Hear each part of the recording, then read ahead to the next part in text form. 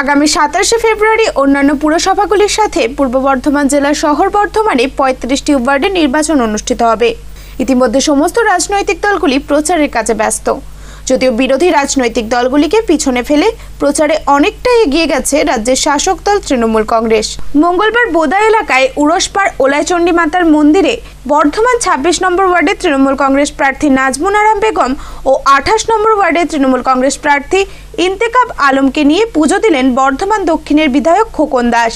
এই দিন বিধায়ক জানান পঁয়ত্রিশটি ওয়ার্ডে জনগণ যেভাবে তৃণমূল কংগ্রেসকে সমর্থন করছে, তাতে প্রমাণিত হচ্ছে এবারেও বিরোধী শূন্য হবে বর্ধমান পুরসভা।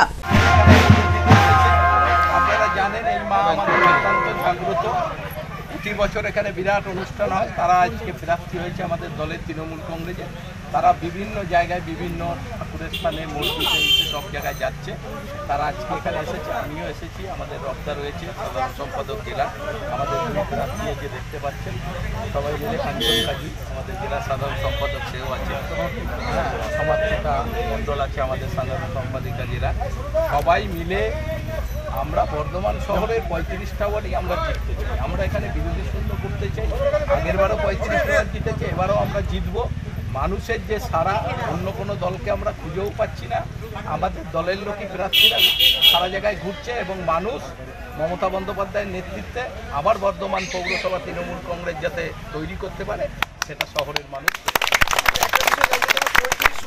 সাধারণ মানুষও বলছে কিন্তু এই এত আয়োজন, এত কিছু প্রচার, পুজো অর্চনা, এটা কি ভোট বাড়ানোর না না, ভোট বাড়ানোর আমাদের যেটা কাজ পার্টি, আমাদের দলের প্রার্থীরা সেই কাজ করছে। আমরা কেউ নাই বলে আমরা ঢিলামি দিতে রাজি না।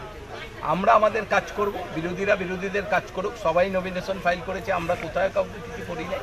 ভোটও আমরা শান্তিপূর্ণভাবে চাই এবং প্রতিটি নাগরিক তার ভোট এবং সেই ভোট দিলেই তারা তৃণমূল কংগ্রেসকেই ভোট দেবে। তাই আমাদের যে কাজ ভোট করতে হলে যেটা প্রার্থীদের করণীয় সেটা সবাই প্রার্থীরা করছে।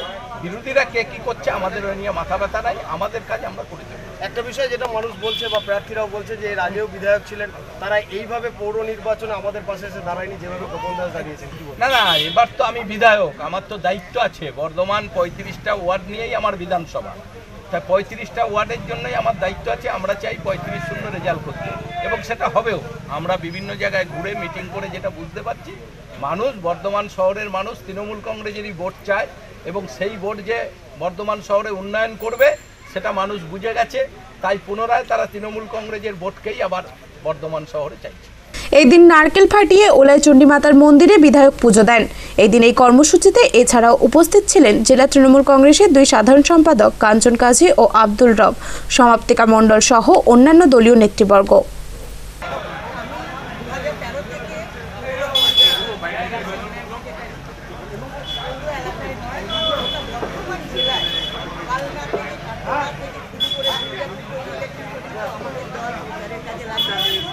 এবং দু হাজার একুশে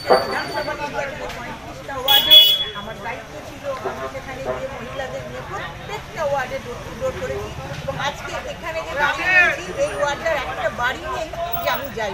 সবার কাছে সেই রকমই আরেকটা পৌর ইলেকশন এসে এখানে এই কাজটা আমি করেছি বা আমার দল মনে করছে বলে এই কাজটা করতে আমাকে এই কাজে বেশি লাগবে। পৌরসভা এই পৌর নির্বাচনে কি সেগুলোকে রিকভার করা যাবে? যাবে কারণ দিদি সবসময় বাংলার মানুষের পাশে আছে সেইভাবে বর্ধমান পৌরসভার পাশে আছে। আমরা সেইভাবেই বর্ধমানের বিধায়ক উপন্যাসকে জেতানোর জন্য প্রত্যেকটা মানুষের কাছে গেছিলাম। হয়তো কিছু কিছু আমাদের সবাই হেল্প করেননি বা ভোট দেননি কিন্তু আমাদের বিধায়ক নির্বাচিত হয়েছে। তাদের কাছে আশা রেখে এবং যারা পৌরপ্রধান হয়েছে এই ভোটটা। অন্য ভোটগুলো লোকসভা বা বিধানসভা পৌরসভাটা তো অনেকটা সেই লোকাল প্রার্থীকে দেখে হয়।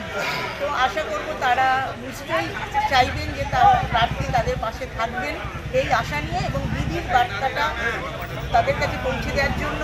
এবং আমাদের রাজ্যে দেখুন দিদি ক্ষমতায় আছেন আমাদের বিধানসভায় আমাদের বিধায়ক নির্বাচিত হয়েছেন। পৌরসভা তৃণমূল হলে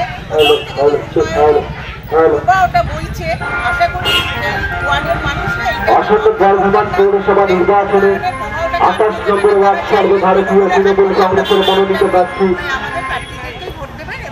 পঁয়ত্রিশ ষোলো পৌরসভা হবে। এটা